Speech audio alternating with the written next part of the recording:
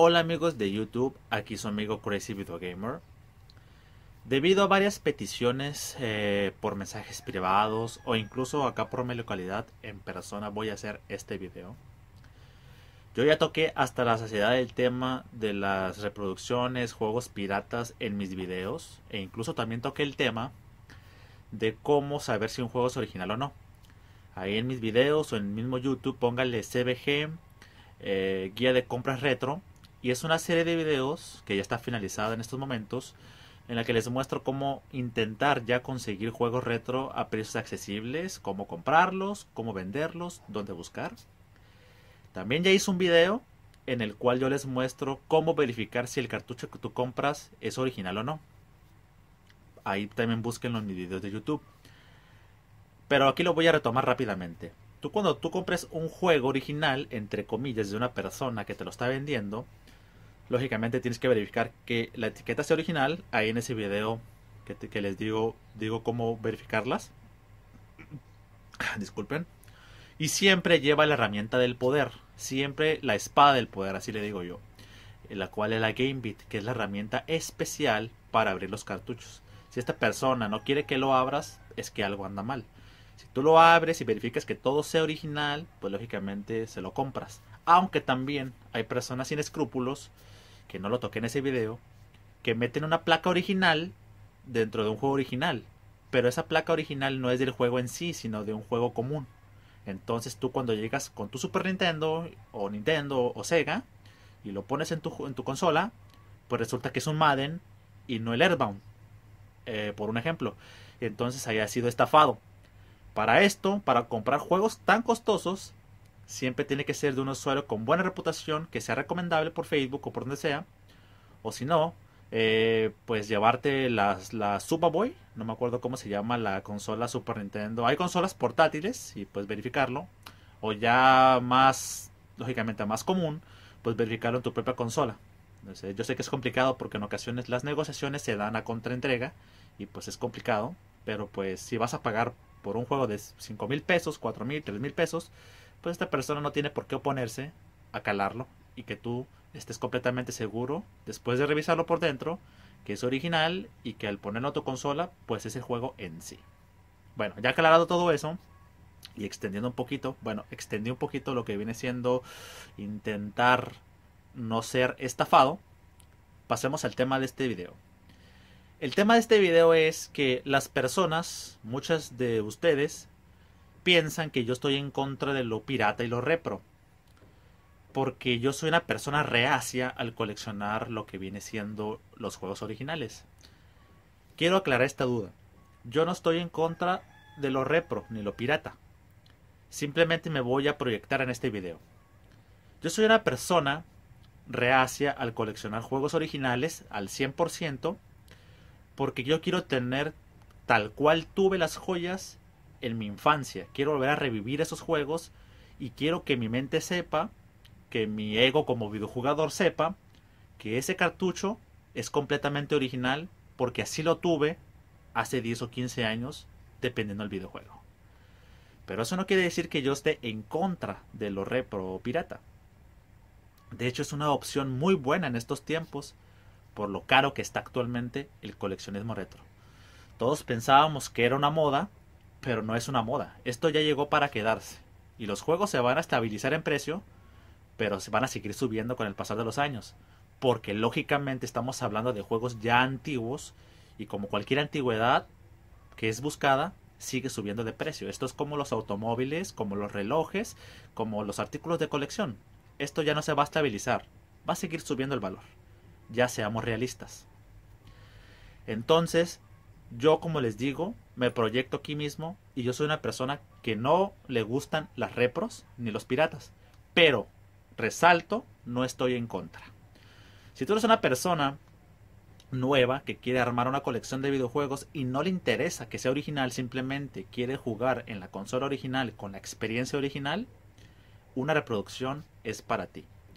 Si me preguntas, ¿qué es mejor, Crazy? ¿Un pirata o una reproducción? La reproducción es mucho mejor que el pirata.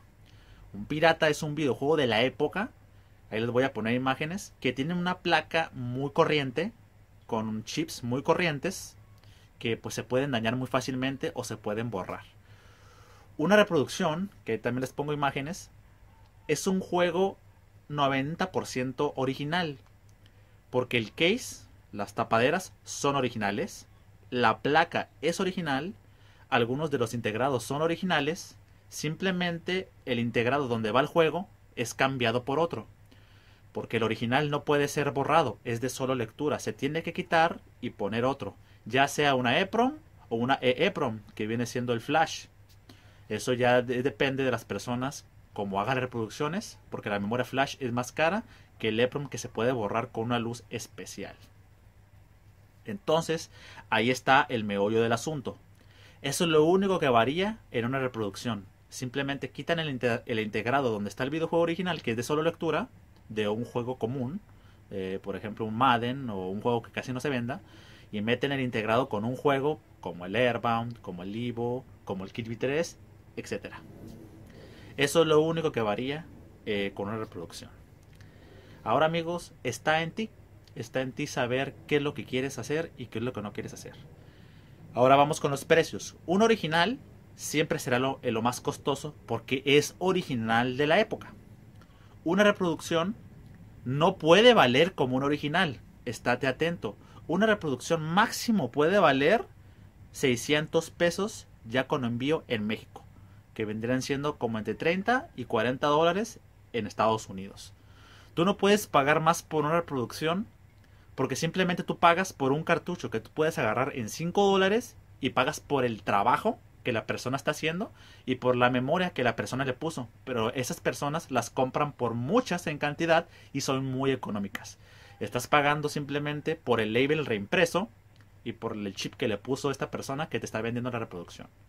Tú no puedes pagar más de 60 o 80 dólares, perdón, no puedes pagar esa cantidad porque no lo vale. Una reproducción no puede pasar de los 600 pesos. Y si está más cara que eso, es una estafa. No puedes pagarlo. Así que estate atento, amigo.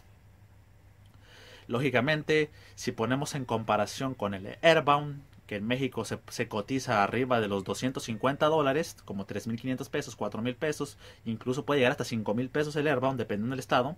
Una reproducción la vas a encontrar en 600 pesos.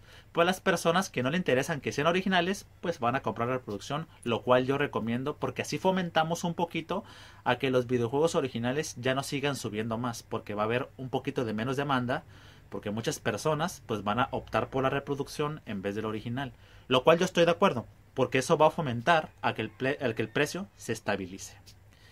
Ya para finalizar, amigo, como te digo, si vas a elegir entre algo inferior al original, yo te recomiendo mucho más una reproducción que un pirata, por obvias razones que ya expliqué en este video. Por el valor, por la calidad y por lo que representa, una reproducción es la mejor segunda opción a la original.